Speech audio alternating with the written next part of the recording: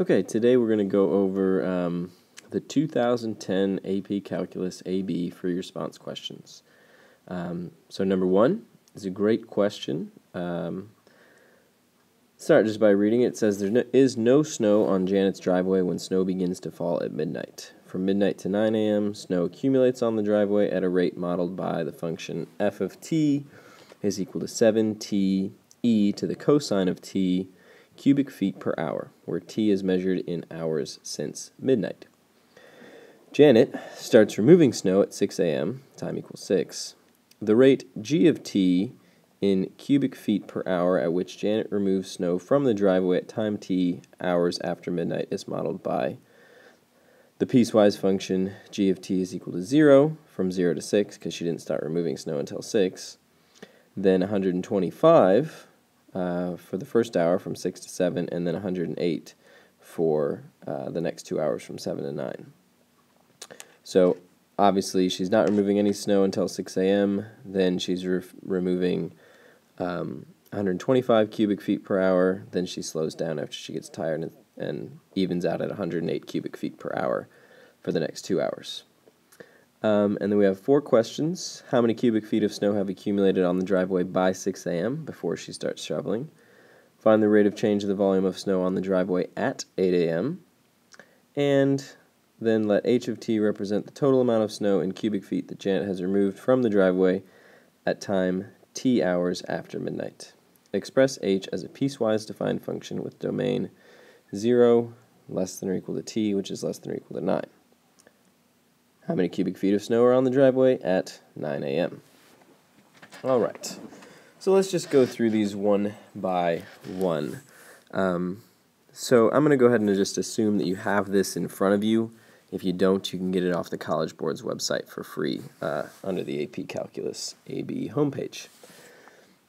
So I'm going to shrink this here, and we'll refer to it later, so I'm going to move it up over there, and, and, and we'll come back to it. That looks pretty good. Uh, one important thing to notice is that this is a graphing calculator allowed question. So, all right. A is how many cubic feet of snow have accumulated on the driveway by 6 a.m. Accumulation, we should immediately think integration. Um, an integral accumulates a rate of change. So if we have the rate of change of snow to find the amount that has accumulated, we just take the integral. So let's go ahead and do that for part A.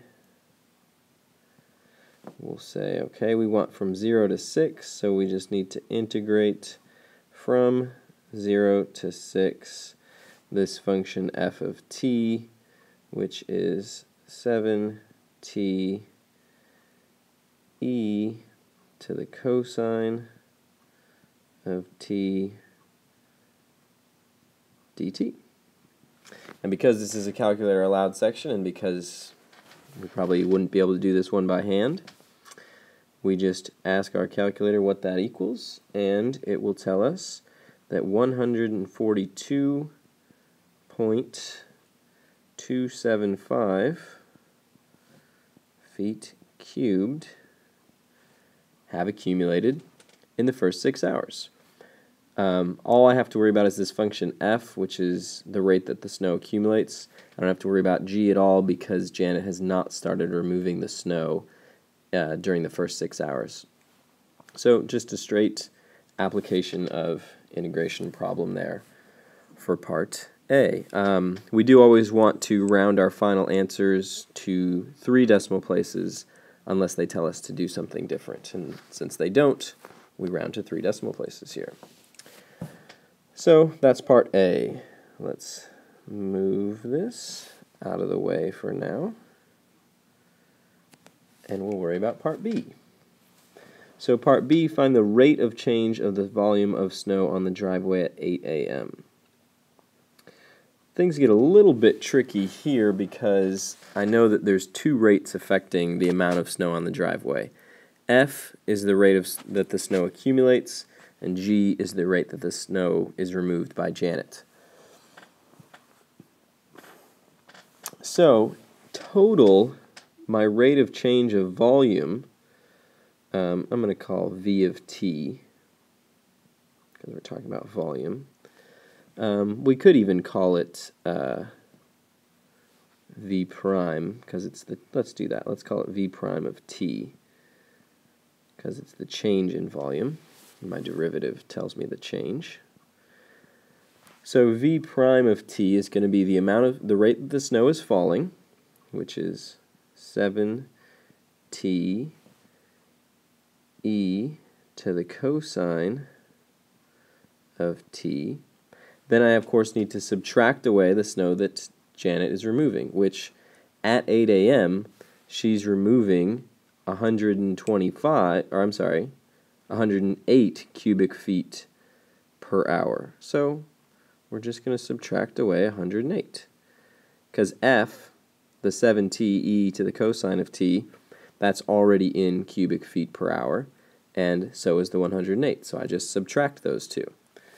Now this question asks specifically about the volume of snow on the driveway at 8 a.m., so I just need to find v of 8 and I plug that in. I plug it in anywhere I see a t. Um, and so v of 8, again, my calculator is going to tell me, is just negative 59.583. Uh, and this is going to be cubic feet per hour. And one thing to notice about that is um, a common mistake that people make is they try to put maybe a T with the 108, but the rate of change at which Janet removes the snow does not change for the in between hour 7 and hour 9. It's a constant 108 cubic feet per hour rate. So I don't need to put the T in there. The T would come in if I was going to integrate and find out how much snow she had removed uh, in those two hours, but the rate is just 108. Okay, so negative 59.583 cubic feet per hour is how the volume of snow is changing um, at 8 a.m. It's the instantaneous rate of change at 8 a.m. And that is part B. So again, let's get rid of that. Now part C says represent the total amount of snow, let h of t represent the total amount of snow in cubic feet that Janet has removed from the driveway at time t hours after midnight. And then express h as a piecewise defined function with domain 0 to 9. All right. So, of course, there's going to be if we're talking about the removal and it's going to be piecewise, we're going to use the same exact pieces as we have for G. So we're going to split it up for the first six hours, the next hour, and then the final two hours. Um, and so h of t, well, I know that in the first six hours, the rate at which Janet removes snow is zero feet per hour. So for the first six hours, Janet has removed zero cubic feet of snow. So the amount removed um, is zero for zero less than t less than 6. Okay. Now for the second, or I'm sorry, not for the second, but for the next two hours, hours, nope, nope, one more time. Just for the next hour, between 6 and 7, she removes 125 cubic feet per hour. Um, so I'm going to start with that 125, and then to figure out how many or how much snow she's removed, I just multiply the rate, 125, times how long she's been doing it for. And a common idea would be to just put a T right there and say, oh, well, she's removing 125 cubic feet per hour for T hours. But we got to be careful with that, and actually we need to turn this into a T minus 6. Because for the first six hours, she's not doing anything. So after, say, half an hour, the total time would be 6.5, but she's only been removing the snow for half an hour.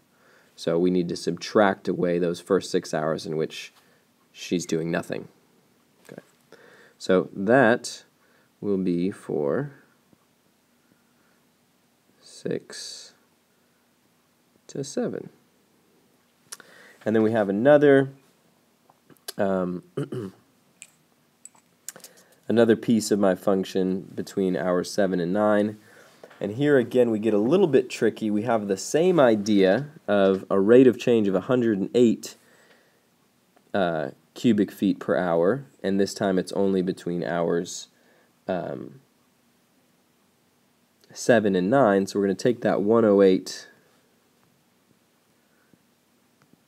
and do the same thing times t, but this time minus 7 because it's at 7 that she starts this new rate of change. But I've also this time got to add in the 125 feet, cubic feet, that she removed in the last hour. Because by the time we get to 7, the amount that she has removed was, was 125 cubic feet at 7.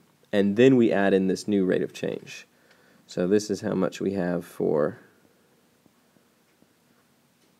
seven, to, nine.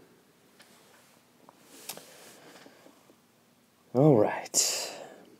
So that's part C. It's a little bit trickier than it looks at first glance, um, but if you just take a second and think about it, I think that uh, I think that makes a lot of sense. So again, we're done with that. So let's shrink that and move it over here. Now part D, the culmination here. How many cubic feet of snow are on the driveway at 9 a.m.? And there's three parts we have to worry about here. One, how much snow, um, how much snow accumulated before Janet started shoveling. Then, how much snow is on the driveway at 7 a.m. after she's been shoveling for one hour and then how much snow is on the driveway at the very end after she's been shoveling at her new different rate for the next two hours. So for part D, I know that in the first six hours from, actually let's, I don't like how I wrote that. Um, easy now. So I'm just going to get rid of this. I don't like that. So we're say at 6 a.m. there are, like we said in part A, 142.275 cubic feet.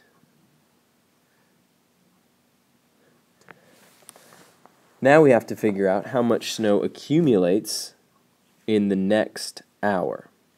And of course, in the next hour, there is snow not only falling, but then snow being removed by Janet at a rate of 125 cubic feet per hour. So, we'll say from 6 to 7, we accumulate some amount of snow. Now, how much? I'm not sure. So, to figure it out, we just look at the integral, because again, we're accumulating snow from 6 to 7.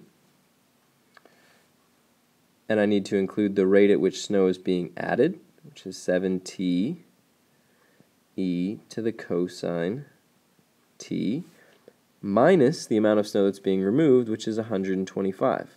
Again, I do not need to include a t with this 125 because the rate is 125. And again, this is the calculator section, so I just asked my calculator how much was accumulated in that time frame, and that was negative 8.961 cubic feet which is good news because that means that Janet is shoveling it faster than it's coming down. So um, she's getting somewhere. And now we need to know what happens from 7 to 9. So let's look at that. From 7 to 9. We're going to do the exact same thing, except we're going to incorporate our different um, rate of removal. So here we take the integral from 7 to 9 of the rate that the snow is falling, which is again 7t e to the cosine, oops, t minus now 108 dt. And that is negative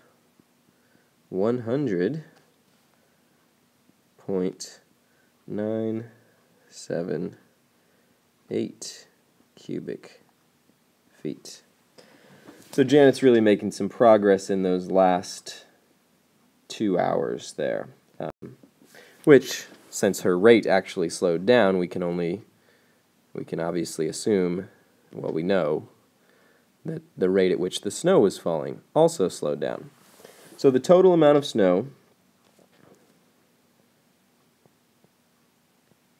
amount of snow equals 142.275 minus both of those, so minus 8.961 and minus 100.978 for a grand total of 26.335 cubic feet. And we're done. That is 2010 for your AP Calculus AB free response question number one.